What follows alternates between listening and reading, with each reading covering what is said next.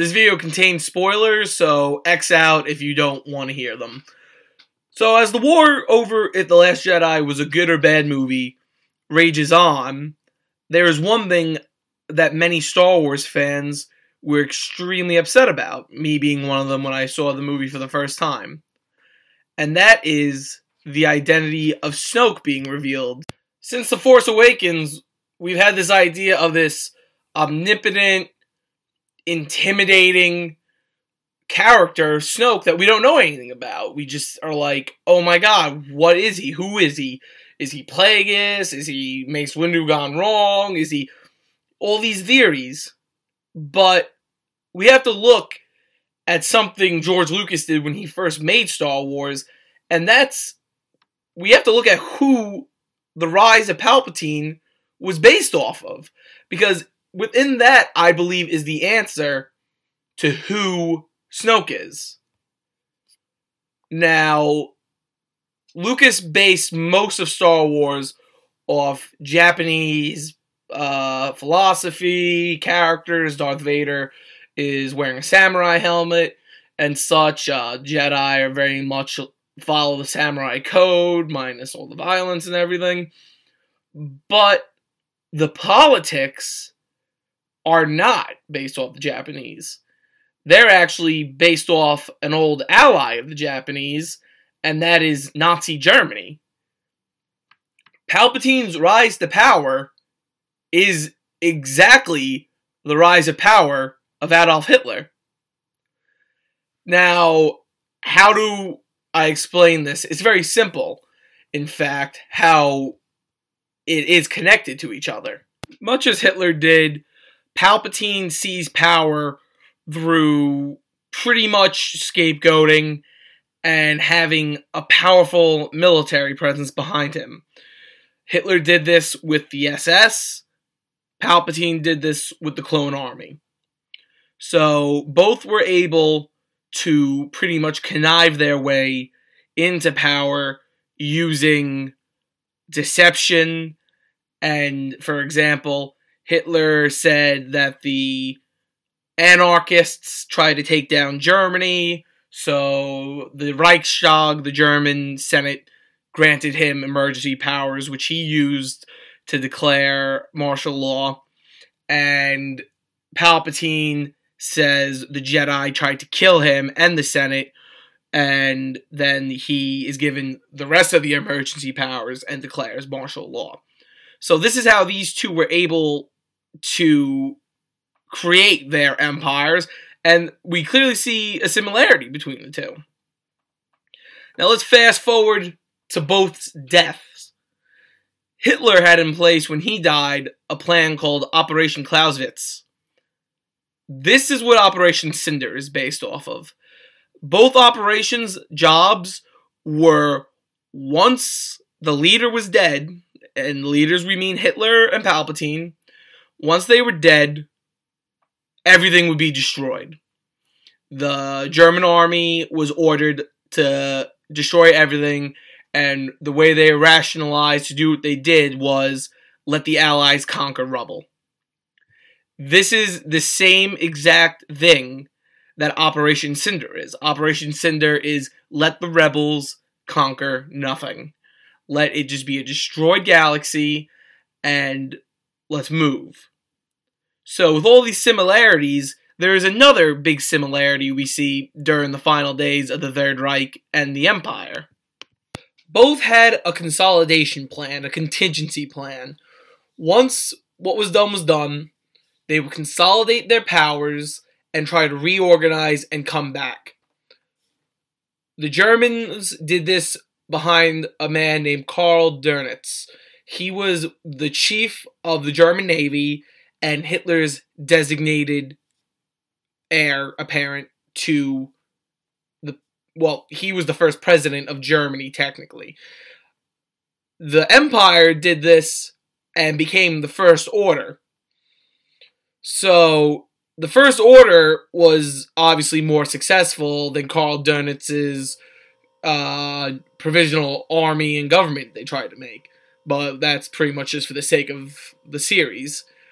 So maybe did the Emperor have a contingency leader? Because let's think back to the Darth Vader comics. Palpatine had other students that we didn't know about. So what what's the possibility that maybe the person he designated to be his successor we never even just saw. This comes down to whoever that successor is is Snoke.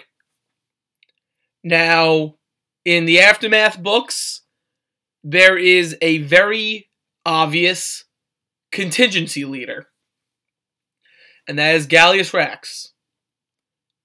I agree 100% with other theorists who say that he is definitely Snoke. He, I, I honestly can't see a reason why he couldn't be Snoke, other than people just not wanting him to be Snoke.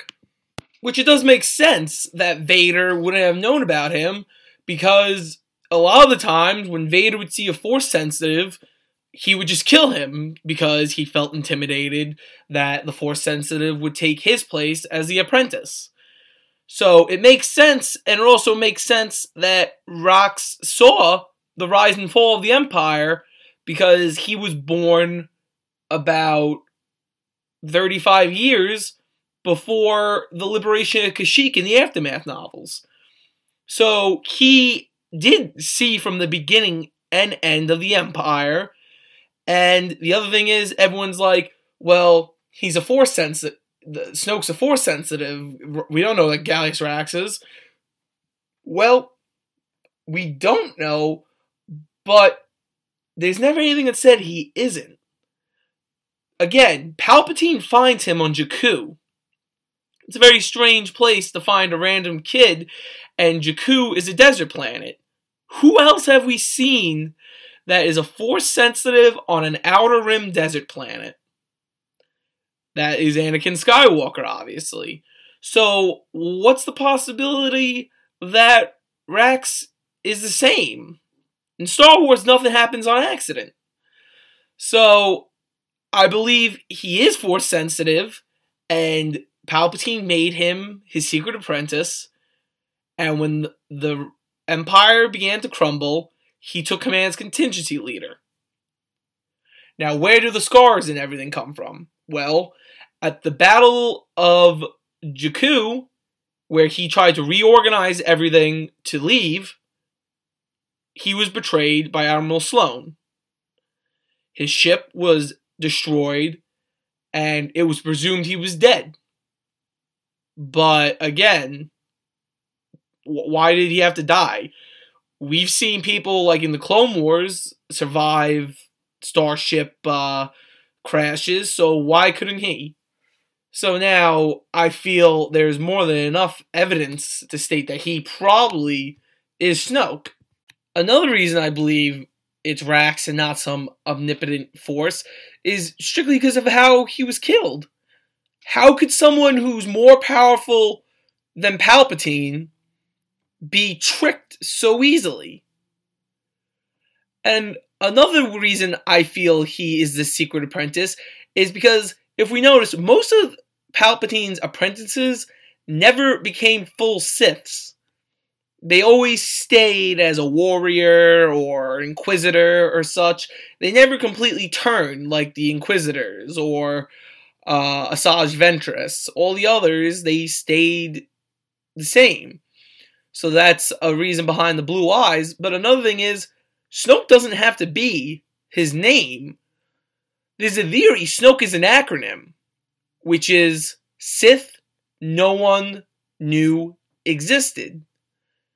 Which would make sense when Kylo Ren, after killing Snoke and the Praetorian Guards, say the following lines in this order Snoke, Skywalker, Sith, and Jedi. Why did those two match up the way they did? So maybe Snoke was a Sith, but then realized the failures of the Sith, and when he went into hiding with the First Order and recreated it as the First Order, he decided the Sith ways were not a safe and practical way of handling things. So that is my theory. I believe Snoke is definitely Rex, especially following The Last Jedi and his uh, untimely death. Thanks for watching. I really hope you enjoyed it. Uh, again, these are just theories, uh, but I do believe this one is really correct. If you liked the video, like and subscribe. If you didn't like, like and subscribe anyway. Have a heart. and as always, may the Force be with you. Always.